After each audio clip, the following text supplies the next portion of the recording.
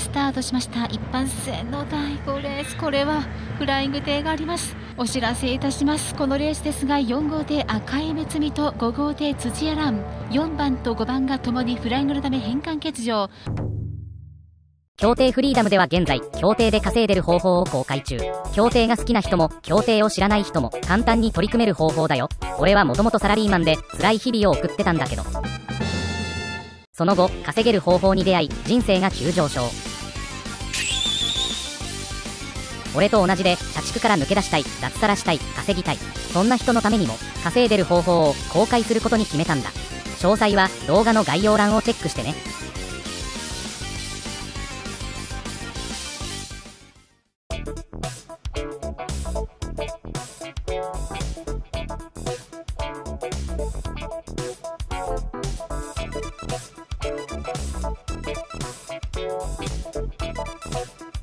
うん。Thank you.